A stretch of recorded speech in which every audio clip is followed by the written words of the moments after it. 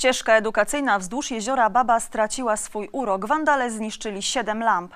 Straty są znaczne, bo zakup klosza z uchwytem to koszt ponad 300 zł. Straż Miejska sprawę przekazała policji, która próbuje ustalić sprawcę aktu wandalizmu.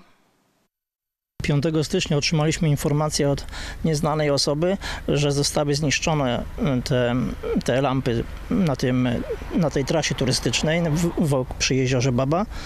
No i udaliśmy się na miejsce, zrobione zostały zdjęcia.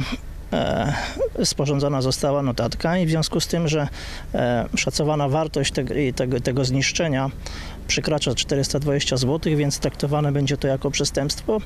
Dlatego sprawę skierowaliśmy do policji. Do dewastacji miejskiego mienia doszło najprawdopodobniej w nocy. Wandale dla zabawy uszkodzili kilka lamp znajdujących się wzdłuż ścieżki edukacyjnej nad jeziorem Baba. Niestety w tym miejscu nie ma miejskiego monitoringu, który mógłby uchwycić sprawców. W związku z tym, że straty są dość znaczne, Straż Miejska w Złotowie sprawę przekazała policji, która próbuje namierzyć wandali.